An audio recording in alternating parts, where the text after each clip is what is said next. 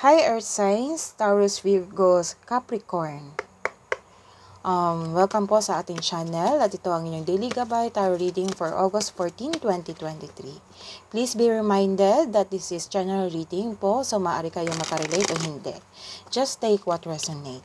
Gamitin ang reading na ito bilang gabay. Balik po kayo dito bukas para sa ating daily gabay tarot reading for August 15, 2023. Please like, subscribe, and click bell button para updated po kayo sa daily tarot reading natin. Maraming maraming salamat po. So, earth signs, ano po ang inyong energy today? Spirit guides, ano po ang energy today ni earth signs, Taurus, Virgo, Capricorn? You have Hierophant and Five of Wands.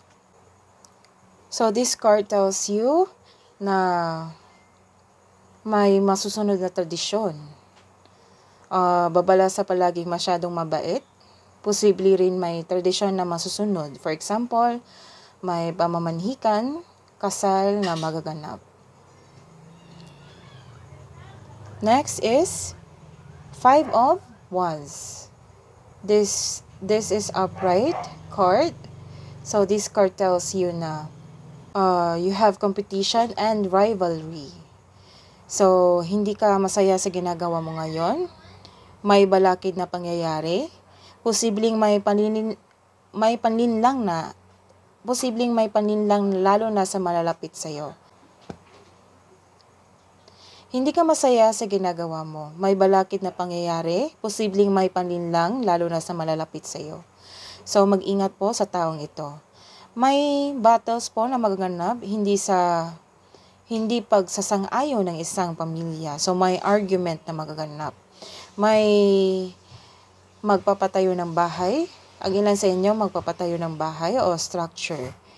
May ganap din na competition. For example, same kayo ng position na in-applyan ng classmate mo o yung close friend mo. Next is, ano pa po ang mensahe para kay Earth Signs, Taurus, Virgo, Capricorn ngayong August 14, 2023. Ano pa po, Spirit guys, ano pa po ang mensahe para kay Earth sign, para, ka, para kay Earth sign, Taurus, Taurus, Virgo, Capricorn for August 14, 2023. Ano pa po ang mensahe para kay Earth signs? So, this card is the Moon and Page of Cups.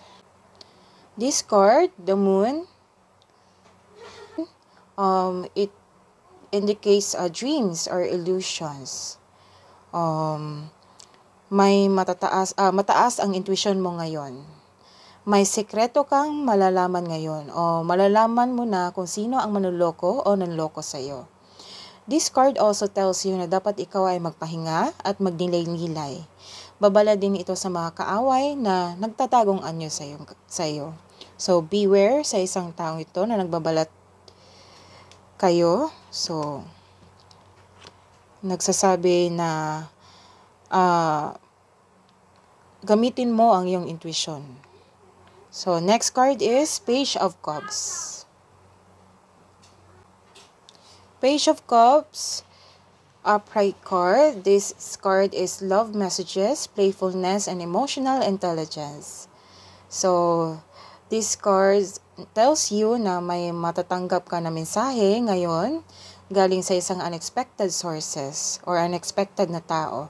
Pwede itong galing sa isang tao na mas mabata pa sa'yo o ito ang iyong intuition. Um, may gusto ring mag-reach out sa'yo, gusto niyang humingi ng sorry sa'yo. Maybe it's your ex po. May good news na darating or mensahe na darating. Next is, let's see your career and money for Earth Sign Tarot, uh, Taurus, Virgo, Capricorn for August 14, 2023. Spirit Guide, ano po ang mensahe nyo para sa career and money? Career and money para. Let's see your career and money para kay Earth Signs, Taurus, Virgo, Capricorn. Spirit guide, ano po ang career and money ni Earth Signs Taurus, Taurus Virgo Capricorn for August 14, 2023. Ano po ang mensahe nyo para kay Earth Signs? So, this is Temperance and Three of Cups. This card, Temperance, is an upright card. Uh, this card is moderation, harmony, and divine timing. So, sa career and money, sa buhay, karera, at kaperahan, um, maka-encounter ka dito ng masungit na customer or sensitive na tao. Kaya kailangan ng mahabang pasensya at pag-intindi. Sa kaperahan, this card asks you to pay attention to your income at sa paggasta. So, kailangan pay attention ka sa iyong paggasta. Baka hindi mo ma malaya na napagasta ka ng masyado ka nang napagasta ngayong araw na ito. So, control your finances, earth signs. Next is Three of Cups. Three of Cups, celebration. This is celebration and togetherness. Sa kaperahan at buhay karera, may ganap na groupings or collaboration dyan sa trabaho mo o sa negosyo mo Itong mga taong ito ay buo ang suporta sa iyo. Maari ding family mo ito. Magkakaroon kayo ng outing with your friends or company outing. Next is for love and romance ni Earth Signs, Taurus, Virgo, Capricorn.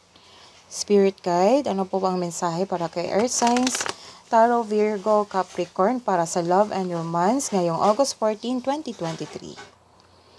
This card is the Chariot and Four of Swords. This card is inspired action or momentum.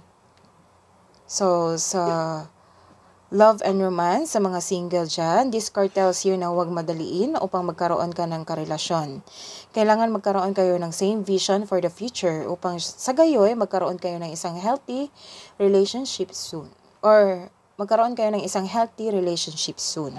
Sa mga in relationship dyan, you are moving fast in a relationship. Make it sure na ang couple ay nagkaroon ng vision for the future or create a solid foundation and establish any plans before taking this relationship to the next level.